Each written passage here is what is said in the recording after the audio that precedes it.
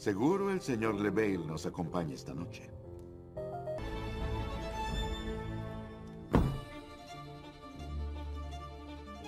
Si saca esa carta, ¿estás dispuesto a hacer lo necesario? Como muchos saben, mi bisabuelo Víctor abrió una modesta imprenta durante la Guerra Civil donde fabricaba naipes. Bajo mi dirección, los Juegos de la familia Ledomas adquirió cuatro equipos deportivos profesionales y alcanzó, bueno, nuevas alturas. Todo comenzó con un generoso benefactor. En uno de sus muchos largos viajes, el bisabuelo conoció al señor Lebel. Después de descubrir su pasión en común por los juegos de azar, pasaron muchas horas jugando naipes. Si el abuelo resolvía el misterio de la caja antes de llegar al puerto, el señor Lebel financiaría cualquier negocio que eligiera el abuelo. Nadie jode al señor Lebel. El señor Lebel te jode a ti.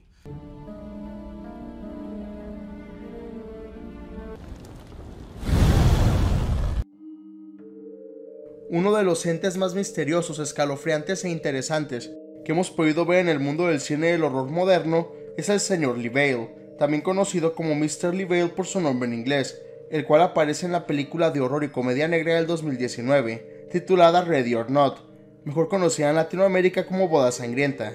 En esta película seguimos a la chica protagonista llamada Grace, quien después de casarse con su esposo Alex Ledomas, se mete en una siniestra situación, ya que en su noche de bodas, la excéntrica y adinerada familia de su novio la forzan a participar en un juego mortal, debido a que ellos están obligados a hacer esto porque tienen un trato con un misterioso ente conocido como el señor Leveille. Es debido a todo el misterio que rodea a Mr. Leveille, lo entretenida que llega a ser la película y la seriedad con la que la familia Ledomas se toman este trato con esa entidad, que el señor Leveille llega a ser un antagonista central muy interesante y enigmático.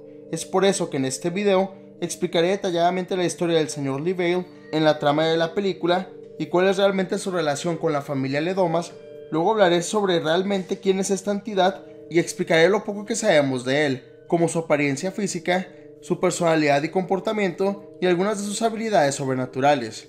En la trama de la película se nos revela que la familia Ledomas es una de las familias más ricas y poderosas del mundo.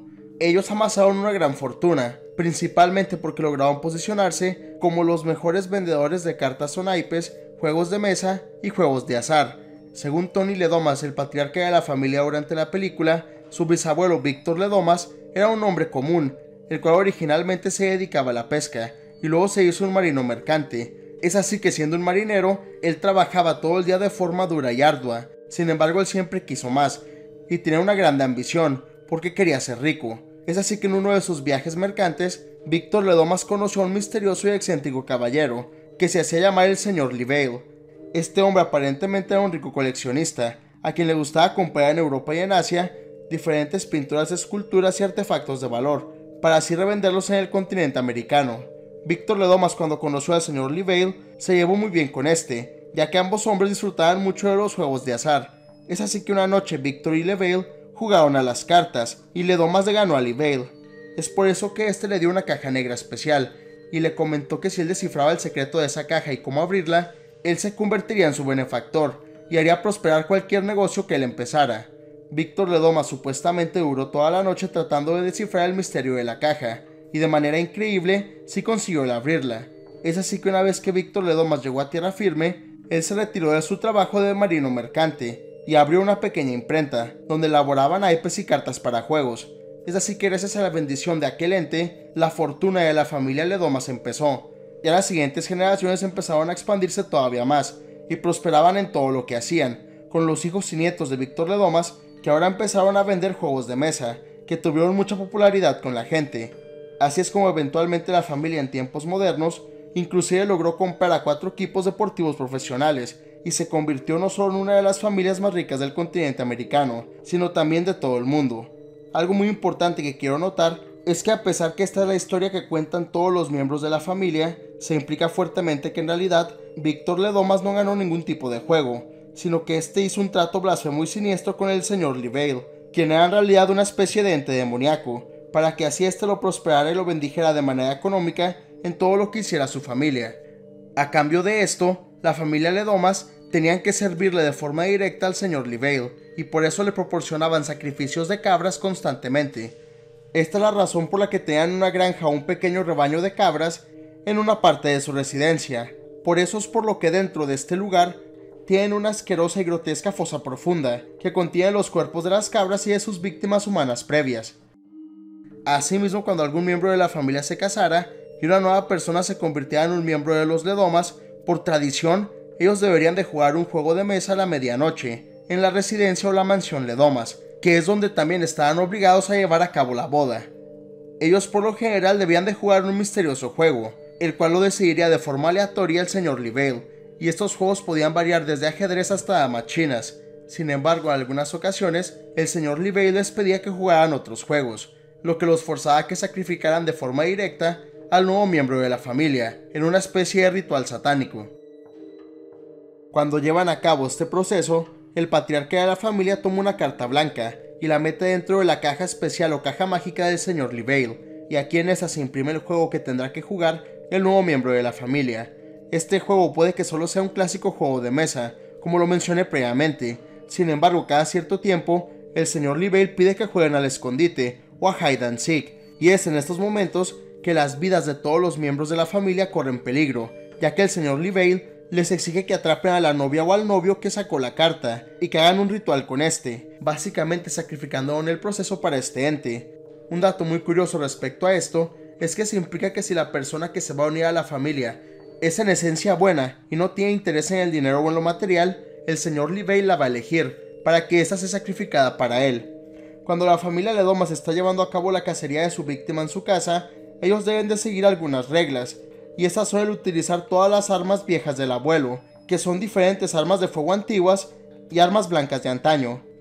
También otra regla que no está muy clara si es una regla verdadera o no, es el hecho de que ellos no deben de utilizar las cámaras de seguridad o ningún tipo de tecnología para así encontrar a sus víctimas. Según el patriarca Tony Ledomas, esto sí se puede usar, sin embargo no se había usado previamente debido a que esa tecnología no se había desarrollado. Sin embargo la hermana de Tony, la tía Helene, dice que el hacer eso va contra las reglas. De cualquier manera esto no queda muy claro debido a que los sacrificios humanos que pedía el señor Livale no eran algo frecuente ni común.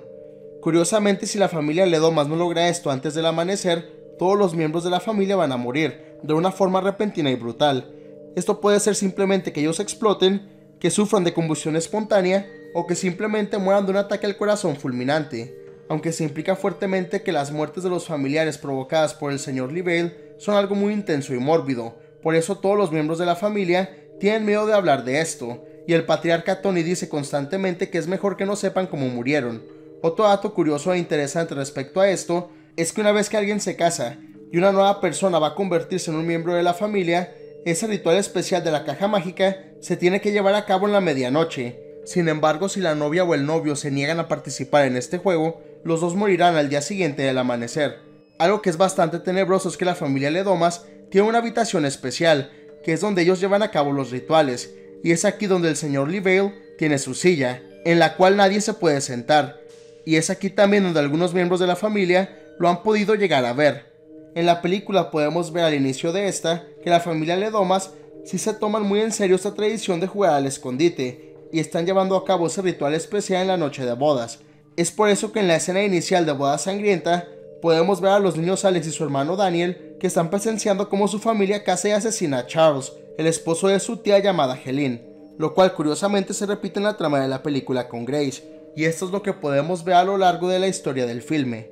Y bueno, aquí ya cubrimos a fondo la historia del señor Lee en la película, quiero hablarles sobre quién es realmente este ente y la poca información que sabemos sobre él. Después de ver la película varias veces y de analizar las pistas que nos dan sobre este misterioso ente, yo concluyo que el señor Lee es un poderoso demonio, y es en realidad el demonio Val, quien viene siendo el diablo mismo. Esto lo concluyo ya que la familia Ledomas le dan mucho respeto a la entidad, dedicándole su nombre a varios de los juegos de mesa que fabrican, como el juego de Libel's Gambit o el Gambito de Libels. Y curiosamente en la portada de este juego podemos ver una representación caricaturesca del diablo. Asimismo el nombre tan peculiar que tiene el señor Livale es realmente un anagrama, ya que los directores de la película revelaron que Livale es un anagrama a Belial o Belial, que significa en hebreo el diablo. También la pronunciación Livale es un homónimo a cómo se pronuncia Val en inglés, que es Bale, que significa demonio, Sin embargo, este nombre se le atribuye al diablo mismo. Es por toda esta evidencia que yo concluyo que el señor Livale es en realidad el mismísimo diablo, y no solo un demonio poderoso. El señor Livale se puede manifestar físicamente si él lo desea, y solo lo podemos ver en el clímax de la película, cuando éste se aparece como un caballero aristócrata fantasmal, quien trae puesta ropa de vestir antigua, y tiene un bigote grande. El hombre se ve algo corpulento, sin embargo son sus ojos que son muy grandes y penetrantes, lo que lo hacen verse muy demoníaco y aterrador.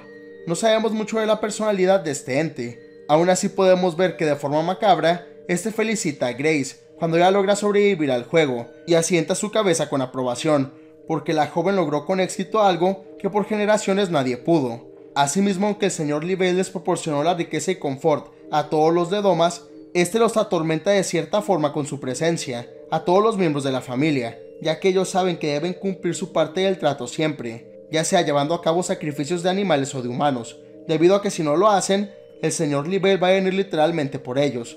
Es por eso que ellos con mucho temor hablan sobre los finales ambiguos y brutales que algunos de sus ancestros tuvieron. Es así que de cierta forma podemos decir que los Ledomas se convirtieron en esclavos del poder del señor Livale y de toda su voluntad, lo que en mi opinión convierte a este ente en un ser bastante escalofriante y tenebroso.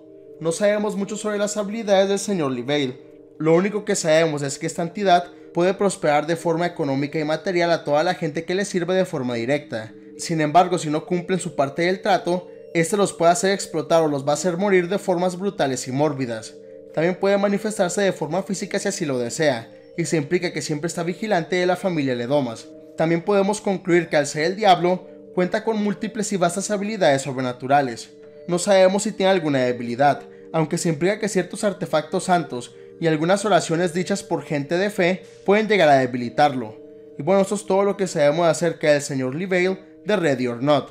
Sinceramente, este personaje del señor Livale me pareció uno de los conceptos más enigmáticos e interesantes de la película, ya que aunque este es un filme de comedia y horror, me encantó la forma en que revelaron al ente, debido a que los diferentes miembros de la familia se refieren a él con mucho misterio, pero sí se nos da algunas pistas sobre qué es esta entidad realmente, y qué es lo que quiere en realidad, también me gustó mucho la forma tan grotesca y cómica en la que los Ledomas terminan, después de no cumplir su parte del ritual, y ellos sí se dan cuenta después de todo que el señor Livell será real.